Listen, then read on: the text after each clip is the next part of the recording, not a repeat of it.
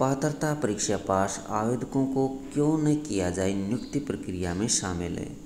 याचिका पर सुनवाई करते हुए हाई कोर्ट ने सरकार को नोटिस जारी कर पूछा, संयुक्त पात्रता परीक्षा पास लेकिन मेरिट में नीचे रहने वालों को ग्रुप सी व डी के बत्तीस हज़ार पदों के लिए अयोग्य करार देने के मामले में पंजाब हरियाणा हाईकोर्ट में पुनर्विचार याचिका दाखिल की गई। याचिका पर हाईकोर्ट ने हरियाणा सरकार व अन्य को नोटिस जारी कर पूछा कि क्यों न सभी पात्रता परीक्षा पास आवेदकों को भर्ती में शामिल किया जाए। इससे पहले सरकार ने पदों में चार गुना आवेदकों को ही स्क्रीनिंग टेस्ट के लिए बुलाने का निर्णय लिया था, जिसे चुनौती देने वाली याचिका हाई कोर्ट ने खारिज कर दी थी।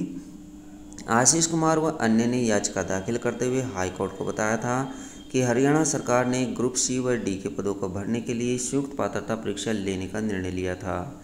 परीक्षा में 50 प्रतिशत अंकों को सामान्य श्रेणी के लिए और 40 प्रतिशत अंक आश्रित श्रेणी के लिए क्वालिफाइंग अंक तय किए गए थे। ग्यारह लाख बाईस हज़ार दो सौ आवेदकों ने इस परीक्षा को दिया था।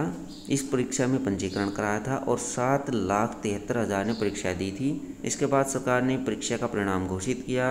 दो लाख बानवे हज़ार आवेदक परीक्षा में सफल रहे। इसके बाद परीक्षा पर सरकार ने निर्णय लिया कि विज्ञप्ति पद के चार गुना आवेदकों को ही स्क्रीनिंग टेस्ट में बुलाया जाएगा। याची ने कहा था कि इस प्रकार नियम को बदलकर परीक्षा पास करने वाले अन्य आवेदकों को वंचित करना अन्याय है। परीक्षा पास करने वाले सभी आवेदकों को इस पर इन पदों के लिए मौका दिया जाना चाहिए। सरकार को तय करनी है, भर्ती प्रक्रिया कैसे पूरी करनी है।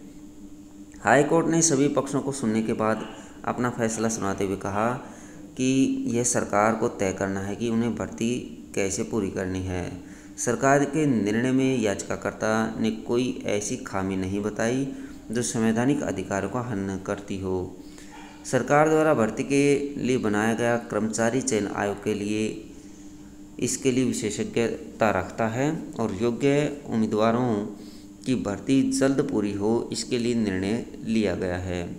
ऐसे में हाई कोर्ट ने सरकार के निर्णय पर मोहर लगाते हुए प्रावधान को चुनौती देने वाली याचिकाएँ खारिज कर दी थी। इस पर मामले में पुनर्विचार याचिका दाखिल करते हुए हरियाणा सरकार के निर्णय को खारिज करने की मांग की गई है।